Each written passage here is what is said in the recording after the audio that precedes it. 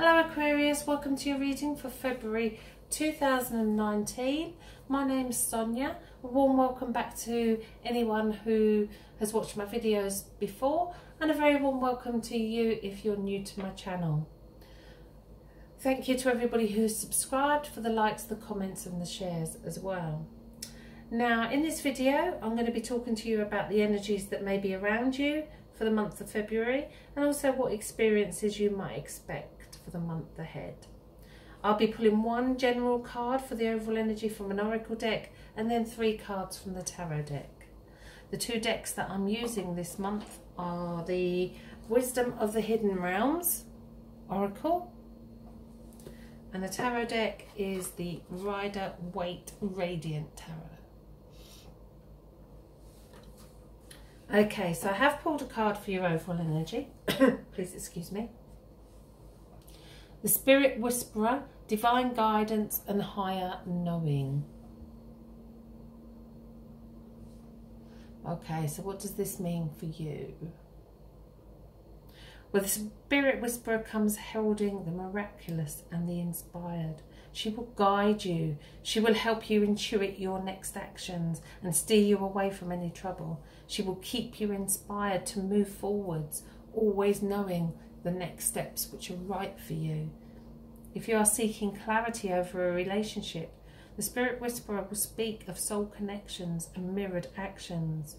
So it's about listening to the guidance from Spirit. She will whisper how long, how short, how deep this relationship can be. So it's about listening to the lessons that she has around love.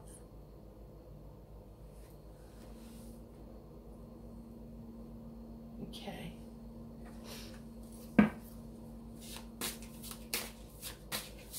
As I shuffle the tarot, I'm asking for guidance and advice for you for February. And I do sense also as I'm shuffling that your mind may be working overtime. Um, and it's knowing that you'll be able to deal with anything that's thrown your way this month, including a new admirer and romance is on the cards even from the 3rd of February as well. Okay, I always turn over the card that's at the bottom of the deck as well. And we have the Seven of Cups. The card of illusion, the card of fantasy, the card of daydreaming.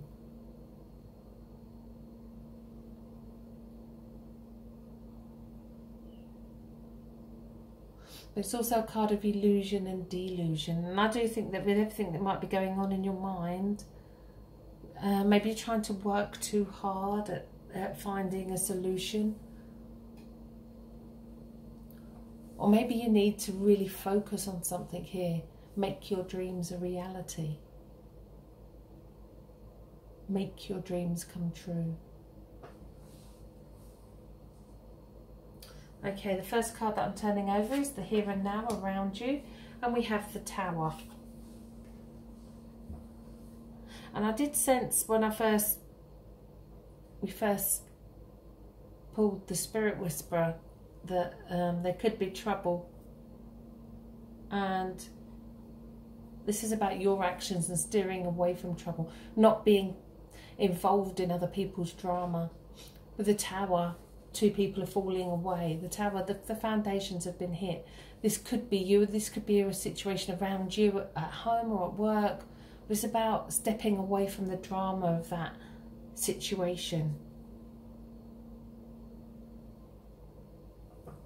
Remember to trust in the Spirit Whisperer. She will guide you on your next steps moving forward. Okay, in the subconscious you have the Four of Wands. Totally different energy in the subconscious. The Four of Wands is stability, security, celebration.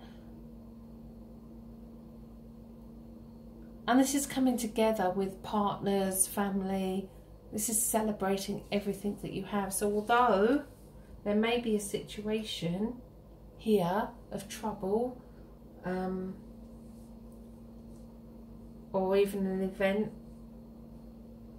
it's almost as though it's not going to rock the solid foundations. So that, strength, the relationship, the family strength is there.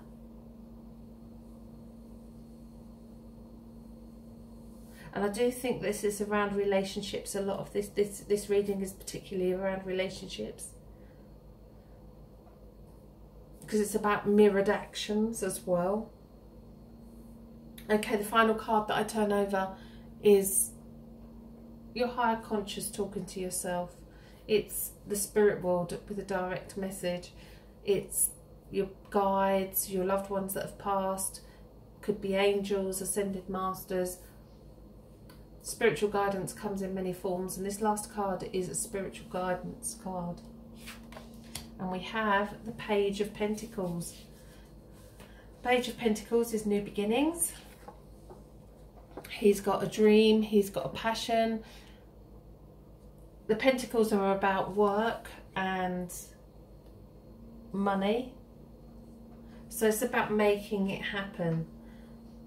The darkness of the tower will soon pass. The trouble, the situ that situation is soon going to pass because you've got the solid foundations there and you're now being given the gift from spirit of a brand new beginning. So a new project, a new job, movement of some kind. It's about put, planting your seeds. Plant those seeds of what you it is that you want, even from a relationship. Plant the seeds, manifest them, put them into action by believing that it can happen. We manifest our own future if we focus on it.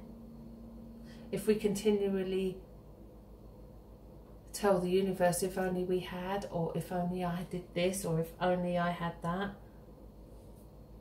We'll never actually get a true completeness.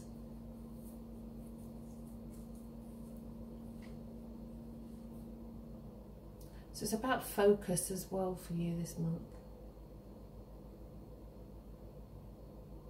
Solid foundations.